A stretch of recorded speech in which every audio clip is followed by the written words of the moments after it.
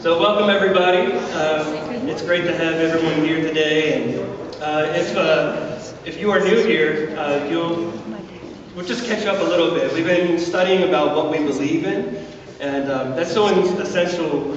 If you worship a God that you don't know, um, then it's basically an idol. It's something that you've fabricated in your mind.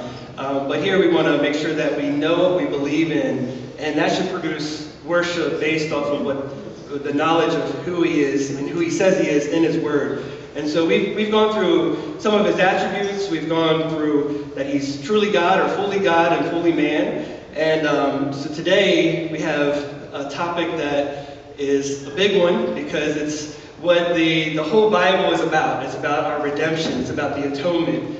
Um, it's why a Christian can sit there and not tremble in their seat um, and worry about their eternal destination and facing the wrath of God. Um, and if you're not a believer, it's the alternative. And uh, I pray that this would uh, awaken in you uh, re- and realize that, that you need Christ and you need to turn to Him today. Um, tomorrow's not promised.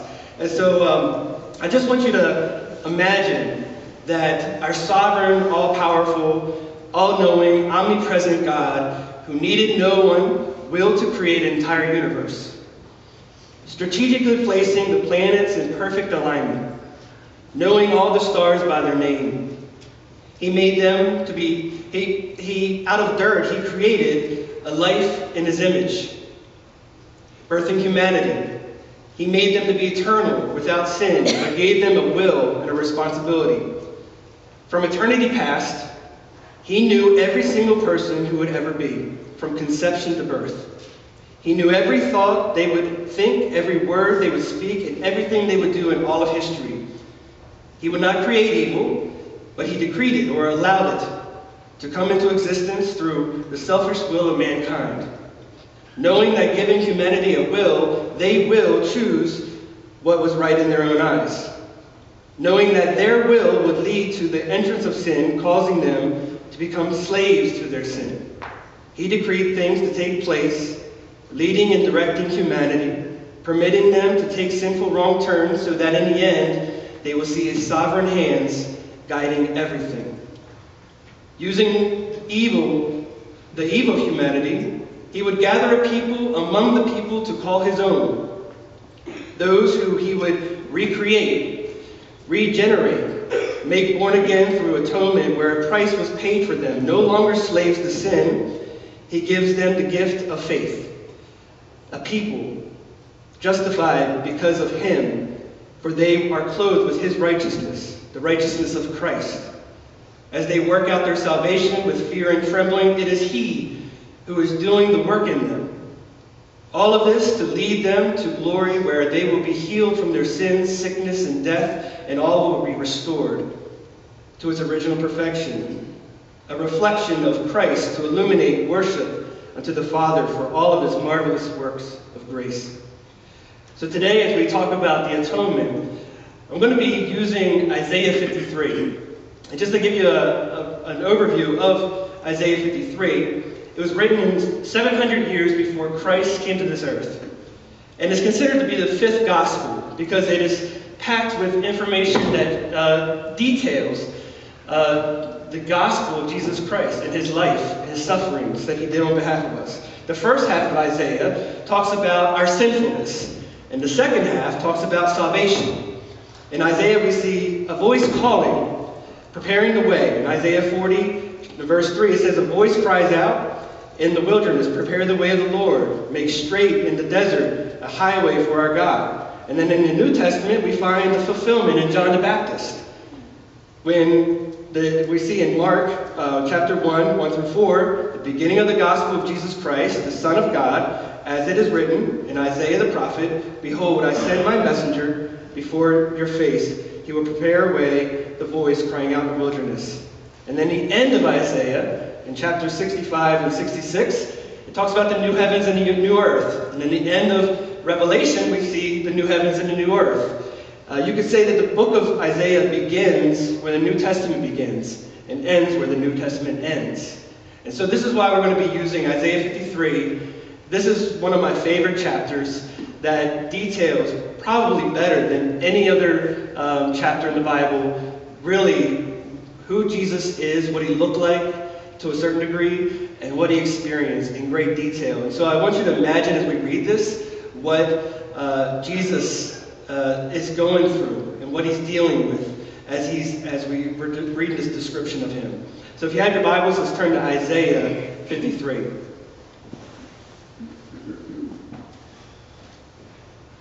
Who has believed what the Lord has heard from us? And to whom has the arm of the Lord been revealed?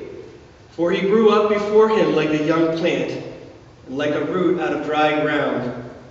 He had no form or majesty that we should look at him, no beauty that we should desire him. He was despised and rejected by men, man of sorrows, acquainted with grief. As one from whom men hide their faces, he was despised, and we esteemed him not. Surely he has borne our griefs and carried our sorrows, yet we esteemed him not. We esteemed, esteemed him stricken, smitten by God, and afflicted. But he was pierced for our transgressions, he was crushed for our iniquities. Upon him was the chastisement that brought us peace, and with his wounds we are healed. All we, like sheep, have gone astray.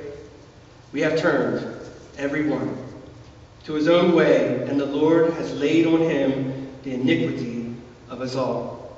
He was oppressed, he was afflicted, yet he opened not his mouth. Like a lamb that is led to slaughter, like a sheep that before its shears is silent, so he opened not his mouth. By oppression and judgment he was taken away. And as for this generation, who considered that he was cut off out of the land of the living, stricken for the transgression of my people, and they made his grave with the wicked and with a rich man in his death, although he had done no violence, and there was no deceit in his mouth. Yet it was the will of the Lord to crush him. He was put to, they, he put him to grief. When his soul makes an offering for guilt, he shall see the, his offspring, and he shall prolong his days. The will of the Lord shall prosper his hand, and out of anguish of his soul he shall see and be satisfied. By his knowledge shall the righteous one be my servant, make many to be accounted righteous, and he shall bear their iniquities. Therefore I will divide him a portion with the many, and he shall divide the spoil with the strong because he poured out his soul to death and was numbered with the transgressors. Yet he bore the sin of many and makes intercession for the transgressors. So it concludes the reading of the word. And so, the first part I want you to understand is he lived your life for you. We look at the beginning of Isaiah 53, verses 1, and it says, Who has believed? And who has the arm of the Lord revealed? And then you look in John chapter 12, just to confirm that this is about Jesus. Jesus confirms it. Chapter 12, 32 through 41, Jesus talking to the people, and he says, When I am high and lifted up on the earth, I would draw all people to myself. And he said this to show what kind of death he was going to die. And here the crowd are hearing this, and they still don't get it. They say, But the law says Christ is going to remain forever. And you're telling us he's going to die. What does this mean? Who is the Son of Man? And he did many signs before them. And yet they still didn't get it. They didn't believe. The Lord had not revealed it to them yet. And then we see this later on that this was all done to fulfill the prophecy of Isaiah that we just read. And in verse 41 of John 12, it says, Isaiah said these things because he saw his, Christ, glory, and spoke of him. Has the Lord revealed these things to you? The atonement will mean nothing to you if it hasn't been, if your eyes have not been opened. So I pray that this is happening right now, that he's opening your eyes. It says he grew up. He grew up like a young plant. The creator of the universe descended from his heavenly throne, came among the his creation as a seed pro- produced through the Holy Spirit. In the woman that Christ created, and matured to manhood like a young plant that grows, truly man and truly God, he became like man in every way so that he could be our substitute and bear the wrath of God that we deserved. It goes on to say that he had no form or majesty that we should look at him, no beauty. See, this is something that we don't see in the movies. Hollywood likes to portray him as a blonde haired, blue eyes shampoo model. That's not what the Bible says about Jesus. It says that there was nothing about him that would have called your attention to him. There was nothing that would have, he was such a man of brokenness and sorrow. Imagine this, that God of the universe is dwelling amongst his creation, creation that's rebelling against him every single moment in front of him. It's all happening in front of him. And he's dealing with this every single day while bearing the temptations that we all face as our substitute. You would be a man of suffering as well. So there's nothing about him from his exterior, not his beauty, not his what what was. Uh, it wasn't that he was, he was a man that was just skipping along. We see this that he was kind of in the movies that he's kind of everyone just following him and everything's just all great until he gets crucified. That's not what we see here. We see that what drove people to him was this radiant love that came from him, and it was the authority that he spoke of. And also, that was the very thing that got him killed as well. It goes on to say, as we see, that he bore our griefs. He was a man of sorrow and acquainted uh, uh, with grief, and one from whom men hide their faces. He was despised, despised, and he bore our griefs and carried our sorrows. So, in that first part, we see a description of him. He was a man of sorrows, and he was acquainted with grief. And the second part describes the source of those griefs and sorrows. He bore our griefs. He bore our sorrows. So why was he a man of sorrows and griefs? Because of ours. He was our substitute. He, he took that upon himself. He lived on this earth perfectly without sinning while witnessing sin, our, our sin, and carried the weight of it as our substitute so that we could be freed from it. He came as our perfect prophet, announcing good news of the gospel. He went to the cross with the grief of our sins upon his shoulders as our perfect priest to make the final sacrifice on our behalf. And then it goes on to say that we esteemed him stricken, smitten by God. In Deuteronomy, it talks about that a man hanged on a tree is cursed. And that's what they believe. They believe that this man was cursed, that he got what he deserved, because of, that's what the law says. However, in 1 Peter 2 24, it says, He himself bore our sins in his body on the tree, that we might die to sin and live to righteousness. What appeared to be a curse, a failure, in reality was a victory over sin and death. Paul Washer once said that there was never been a moment in your life that wasn't tainted by sin. And there was never a moment in his life that was tainted by sin. You have never loved God in a way that God deserved to be loved. But there never was one moment in the life of the man Jesus Christ that he did not love God as God deserves to be loved. So the question is, why is this atonement necessary? And if you look at chapter 53, 5 through 6, there's some key words there, as you can see on the screen. But he was pierced for our transgressions. Think about that word, transgressions. That means a rebellion against him. It's, it's a rebellion against the things of God. He, he did this because of our rebellion. He was obedient because of our rebellion, so that we could become obedient. He bore our iniquities. We were like sheep that have gone astray. And he had his, the iniquities of us all laid upon him. The sacrifices were common in the pagan world. To us, it might seem very, uh, very grotesque for God to say, "Go kill some animals, make sacrifices on my, on, to make atonement for yourself." But the reality is that in the pagan world, they would kill their own children. in order to get fertility or to have good crops or whatever it might be. So this was very common. And for God to go and to say, make a sacrifice of an animal was a constant reminder for them, day after day, that their sinfulness, there, it was a reminder of their sinfulness that, that was repeated over and over again, that would never take away sin fully. The sacrifices in the Holy of Holies reminded them of the great divide between God and humanity. You will see this in Isaiah 1, uh, chapter 1, and he, God is fed up with the people. They're, they're doing the sacrifices, but they keep on sinning. They keep on turning from Him. And He says, I've had enough of your burnt offerings. I take no pleasure in them. Bring your worthless offerings no longer. I can't adore your iniquity. I will hide my face from you. If you come to me in prayer, I will not listen. Your hands are covered with blood. We see this, the, the gravity of sin that we take so lightly. We fail to understand the nature and character of God and sin. The judge of all the earth is righteous and perfect in the administration of his justice. Not only will he punish sin, but he must punish sin. There was one time a story of a, a woman that went and got uh, photos taken, professional photos. And she comes home and she has her photographs and she comes home to her husband and she says, honey, I, want, I got these professional photos taken. I want you to take a look at them. He opens them up she goes, do you think they do me justice? And he looks at him and he goes, you don't need justice, you need grace.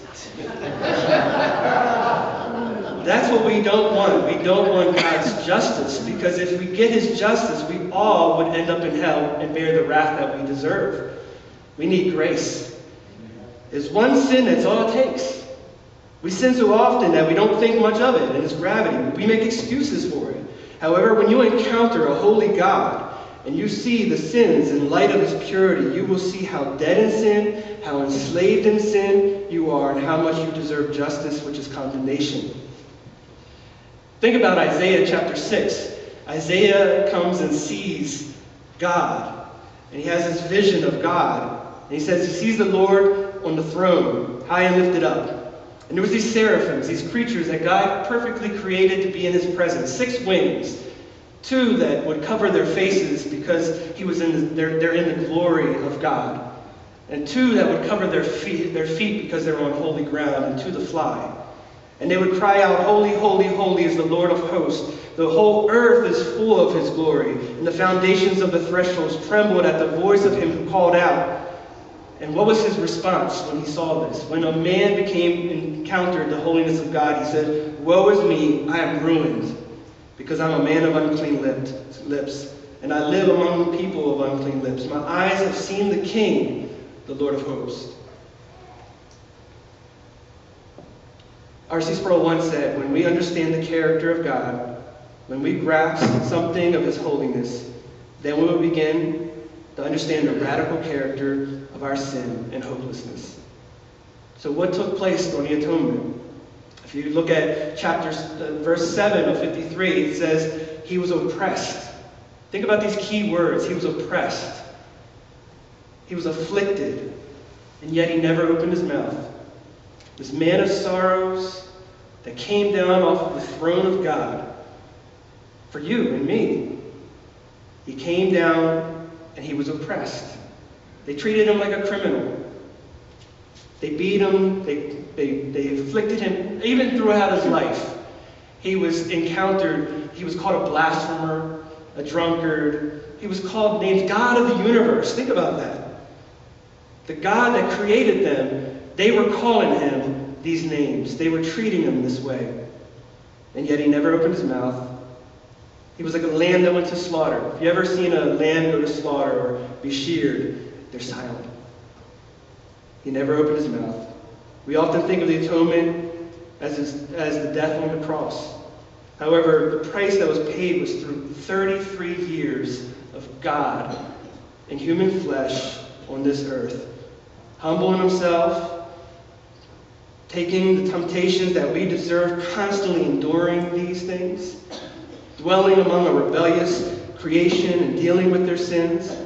And yet he was silent because it was voluntary. He came because he wanted to.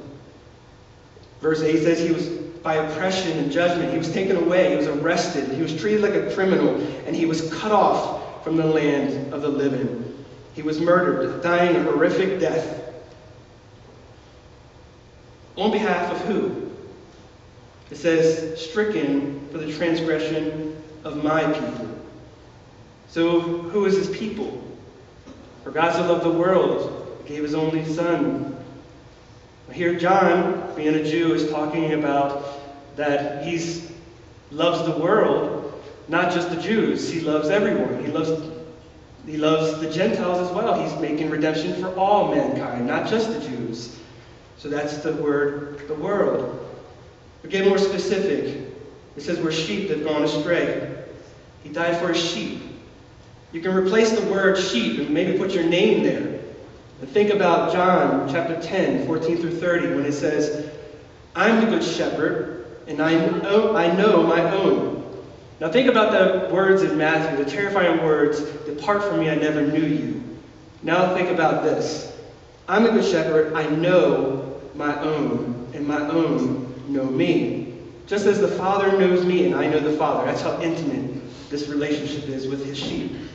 I lay down my life for the sheep. Change the name sheep for your name.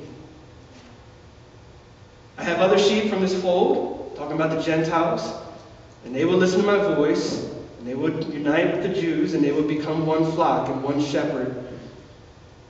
And it says, I've told you these things, but you don't believe because you don't, you're not my sheep. My sheep hear my voice, and I know them, and they follow me. I give them eternal life, and they will never perish, and no one will snatch them out of my hand. My Father, who has given them to me, is greater than all. And he was made, made his grave among the wicked, and with a rich man in his death, although he had done no violence, and there was no deceit in his mouth. And there we see, 700 years before Jesus came to this earth, they buried him the, with the wicked like a criminal. And in a tomb owned by an influential man named Joseph. Yet he was innocent. Jesus Christ died because of our guilt. And then verse 10, it says, It was the will of the Lord to crush him. Think about that word, crush. It was the will of the Lord to crush him. That's graphic language. If you talk about someone being crushed, Jesus was crushed throughout his life emotionally, but then also he went and he was crushed physically. That they had these, these whip that had bone that was on the ends of it. And every time they would whip him, it would grab into his skin and yank it out. Until you would actually see vital organs that's how bad Jesus was beaten. He was crushed. And yet he stayed silent. And it was the will of God to do it. It was God making atonement for you and I. He was bearing the wrath of God that you and I deserved. You think about that picture there. That's what God, Jesus was doing for us. It was the will of the Lord, put him to grief, and his soul makes an offering for guilt. But that's not the end of it. That's not where it ends. It goes on to say that he shall see his offspring, you and I. And, when, and the Lord will prosper his hand. And out of the anguish of his soul, he will be satisfied. He will make many accounted righteous, and he shall bear their iniquities. So there you go, is the definition of atonement. If you look at the word at and one, it's at harmony or in harmony. That's where we get the terminology at, at, at one with nature, things like that. So it's at one with God. That's atonement. Romans 6 23 says the wages of sin is death. So the actual definition of atonement is a reparation. It's a, a satisfaction of a debt that you owe. And so that debt is owed for a specific people, specific purpose for your sins, so that you can have reconciliation with God. The wages of our sin is death, either our death or the death on our behalf. There had to be a satisfaction of death in order for there to be reconciliation. And you look at these words that in Romans 5, 6 through 11. And you just look at those key words there. While we were still weak, Christ died. So we were helpless, he was strong.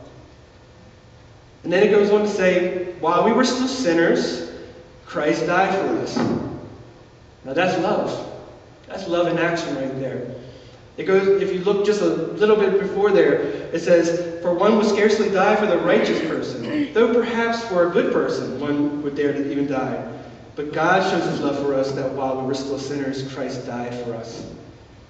And then it goes on to say, Since therefore we have now been justified by his blood, we've been saved by the wrath of God. That's what took place on the cross. He saved us from the wrath of God. And then these are telling words that people don't want to talk about today. For while we were still enemies, we were reconciled by the death of the Son. And while we were reconciled, we were saved by his life. And so we rejoice in God through our Lord Jesus Christ, and we've received this reconciliation. See, many people don't like to talk about the wrath of God and the fact that God is angry with the wicked every single day. This is Isaiah, I mean, Psalm 7 11. Uh, Psalms 5 talks about that he actually hates the evildoers. And yet here's, he's calling us that we were enemies of God, separated from him. However, just as he commands us to forgive others because we've been forgiven, or to love our enemies, think about these. He tells us to love our enemies because we were enemies. That, that's the beauty of God, that He's able to love us so much that He's able to love His enemies and die for them in their place. And that He's made atonement so we can be reconciled. Reconciled to the point that now we can be called children of God through adoption. And then it goes on in verse 12 to say, I will divide him a portion with the many, and he shall divide us the spoil with the strong, because he poured out his soul to death and was numbered with the transgressors. Yet he bore the sin of many and makes intercession for the transgressors. So just think about those, that first section there. Divide him a portion, divide the spoil with the strong. That might seem odd terminology, but think about some of, of like the ancient times when a king would come into a place and would, would have victory over uh, in war, and they would take the plunder and divide it amongst the, the, their, their, their uh, armies. This is language that's talking about victory. He came in sorrow. He came as weak man and, and without majesty. He came broken and crushed, and yet he finished victoriously. Christ lived the life of our, on behalf of our sin, carried our sins, and bore the wrath that we deserved. He tore the veil to the Holy of Holies. Christ conquered death. Christ conquered Satan. Christ covers his sheep with his righteousness. Christ works through his people through this, his spirit. Christ is reigning now at the right hand of God. He was a man of sorrows and grief. He was rejected and despised. He was oppressed. He was crushed, killed. But that only lasted a moment in light of eternity. And after all that Christ did for us, he hasn't stopped it. He's making intercession for us. Now think about that word. So he lived 33 years suffering and enduring temptations that every single one of us deal with. He knows, it's a, in Hebrews talks about he's sympathetic to what we go through. And then you look at John chapter 17, and here Jesus is about to be ascended to heaven to the right hand of God. And what does he do? He stops for a moment, not only to pray for the disciples that are there in that moment, but he also clarifies and says, and also those that will come to salvation through them, us. And just a portion of this, if you look at it. I am glorified in you. you, you I've glorified you on earth, having accomplished the work that you have gave me to do. I've manifested your name to the people whom you've given me out of the world. Yours they were, and you gave them to me. I'm praying for them. God of the universe did all these things for you, suffered for you, He saw all of your sinfulness and your nastiness. He knows what's in your heart and in your mind, what you do behind closed doors. And yet, He prays for you. And those that He bought with a price, He says, He reminds the Father, they're mine. You gave them to me. Don't give up on them yet. I'm still working in them. I'm still sanctifying them. I'm still making them more like me. He's working through us. He's praying for us. Who receives the glory? Not us. Christ alone. And it says, I'm not praying for the world. I'm not praying for the whole world, he says. I'm praying for those you've given me. That's, that's very specific. It's very it's intimate. It's my people. It's my sheep. It's specific names. He's thinking of you and I. And he says, I'm glorified in them. What was accomplished? When Christ cried out, It is finished, he was using a common commercial term that is used when people make full, final installment of a series of payments. It's like you're saying, paid in full. When he was on the cross, he said, It's paid in full. Jonathan's debt is paid for. I don't deserve it. Sin entered through Adam, but salvation came through Christ. Noah's Ark pictures Jesus as the true ark, saving his chosen people from the wrath of God. He was the ram Abraham offered as a substitute to his son for his son Isaac. He was a Passover lamb with the blood over the door to protect his chosen people from the wrath of God. The five major offerings in Leviticus was fulfilled in Jesus Christ. The prophets pointed to the greater prophet Christ. He was Hosea who purchased his prostitute wife from slavery. The priests and sacrifices pointed to Christ who became the perfect high priest to enter the Holy of Holies and lay, laid his own life down on the altar, tearing down the veil of separation. Christ was lifted high on the cross, and now he's high and lifted up on the right hand of God. All of history was humanity fleeing from obedience, and they longed to govern themselves. However, it was God who patiently uses every circumstance through history to paint his story, drawing his elect to himself. Just think about these words of what took place in salvation. Romans 8, 29 through 35. Those he foreknew, he knew them, he knew his sheep. He predestined to be conformed to his son, to be saved. And those he predestined, he called them. When he called them, when he called you, when he called me, we heard the gospel for the first time and it, it awoken something in us. Like we started to see our sins for what it really is. We started seeing in the eyes of a holy God. And that calls us to repent. It's a gift. And those he called, he justified. It's as if Jesus, you go and stand before a holy God. If you stand with your own righteousness, you can't stand before a holy God because we're not righteous. But it's as if Jesus says, Step back, son. And he gets in front of me. And every time Jesus, God looks at me, he sees his son. Those who justified, he also glorified. Glorified is the day we will be freed from sin, healed from our sicknesses and sinfulness, and we'll be in glory with him. But if you look at that, it's all past tense. Justified, glorified, predestined. All is done in eternity past and on the work that Christ did on our behalf.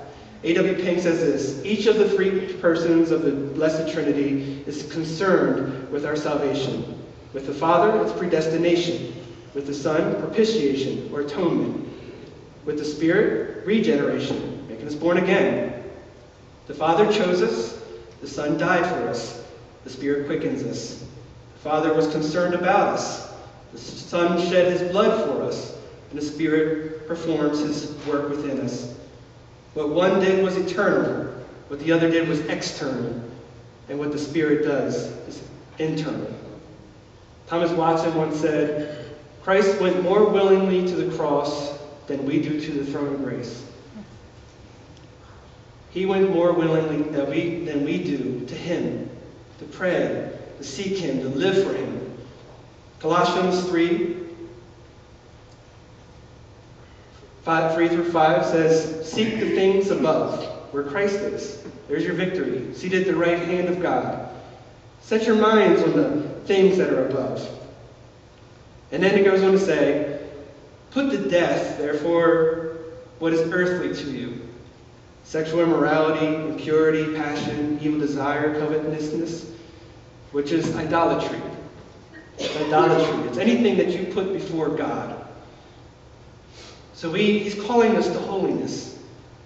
1 Corinthians 6, 19 through 20 says, Or do you not know that your body is a temple of the Holy Spirit within you, whom you have from God? You are not your own. You were bought with a price. So glorify God in your body. Understanding what Christ did on your behalf, must humble ourselves. Knowing we were bought with a price must cause a passion for holiness. Christ is worthy of our obedience. He's worthy of our complete devotion. If we don't long to glorify Him in all that we do and say here on earth, why in the world would we want heaven? For that will be our focus in eternity. So let us continue to offer up a sacrifice of praise. We no longer have to sacrifice. Thank God. I don't can't kill an animal. But I can offer a sacrifice of praise. And now be the fruit of our lips and acknowledge of his name. He gathered us, he purchased us, he justified us, he adopted us. You see, it's he, he, he did it, he did it, he did it. This free gift that he's given us. He sealed us with the Holy Spirit. He's changing us in preparation to dwell with us when all is renewed. Heavens and earth united as one with God and his people, singing, Worthy are you to take the scroll, to open up the seals, for you were slain. And by your blood you ransomed people for God from every tribe, language, people, and nation. You see, the, the full context of, of history was all about saving you and I. It was all about dwelling with his people. And this is, this is what he, he did for us. So I ask you, what are you doing for him? Do you think about these things? And the same sacrifice that he made for us, what sacrifices have you made for him? It says, You're not your own, you were bought with a price. This is something that should, that should humble us greatly. We should meditate on these things.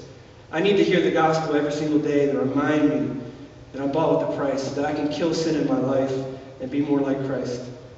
And so if you don't know him, today's the day to do it.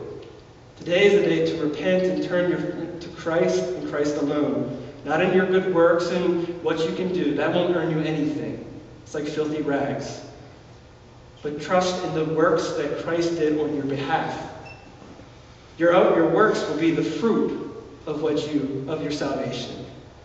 That's what produces fruit that you begin to do, uh, go out and, and, evangelize and help people and, and do good things for one another. That's the fruit because that's the works that God is doing in you. But it won't earn you anything. And so put your faith in Christ alone. Repentance means to turn away from your sins, to reject your sins. To put your faith in Christ and say, I am helpless and I cannot do this on my own. I need you. I reject my sin. And put it all in Him. John Calvin once said, I gave up everything for Christ, and what did I find? Everything in Christ. And for those of us that are believers, this should be an encouragement. It should, it should be something that we think about and we think, 33 years he did this for me. He knew my name. He knew, what, he knew every sin I was going to do, and yet he still did it for me. How humbling is that? And so, if you need if you need prayer, if you need time to, to pray with one another, this is the opportunity to do so. We're oftentimes so quick to, uh, to not think about these things, and, and so if I was up here talking about favorite sports teams, I could I could bring such emotion in you, and you would be so either excited or you'd be angry or you would be whatever it would be, and you'd be thinking about it when you got home. But how quickly we are to forget about the spiritual things. This is why this life is only a passing uh, place. We have a, the joy of knowing eternity is waiting for us. But which eternity is waiting for you? And so this is something we should be thinking about. So let's pray. Father God, thank you for thinking of us, making a plan that was specifically thinking of each one that's here today. That you were willing to bear the wrath that I deserved. You lived the life that I deserved, and you, you understand my, my temptations that I go through, and you are sympathetic, and you're praying for me. You don't allow anything to snatch me out of, out of your hand. You're preserving me to the end, and I thank you for that. And that I, I, want to, I want that to produce obedience, complete obedience to you. And I pray this for every single person here. We're in this together. We're in this battle against the spiritual, against the flesh together. And that's the point of the church, is to encourage one another, to, to, to spur us on to love and good deeds. And so I pray, Lord God, that the church will begin to be the church. It will be your bride that will, that will bring you honor and glory and will be beautiful to your eyes. And that the, the sacrifices of worship that we give you will be sweet incense to your nose. And I pray for every single person here that you, as they go home, that they will meditate on this. And for those that don't know you, that you will call them to yourself. In Jesus' name, amen. Amen.